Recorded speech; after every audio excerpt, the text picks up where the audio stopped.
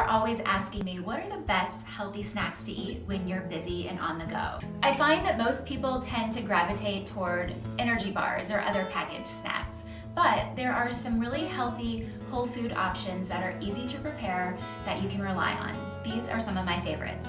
Nuts are great if you like a crunchy texture to your snack.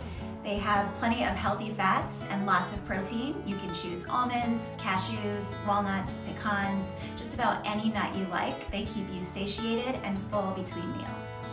If you like a creamier snack or have a sweet tooth, chia pudding is an excellent option. Chia seeds have omega-3 fatty acids, which most people don't eat enough of. After you make your chia pudding, top it with fresh fruit, granola, nuts, or even chocolate chips.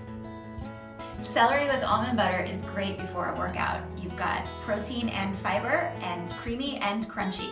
Sprinkle on some cinnamon for extra flavor. I love a hard-boiled egg after a workout. It's packed with protein, which holds me over until I can eat a real meal, and I sprinkle it with pink Himalayan sea salt to help replace electrolytes. Now, tell me in the comments, what are your favorite healthy go-to snacks?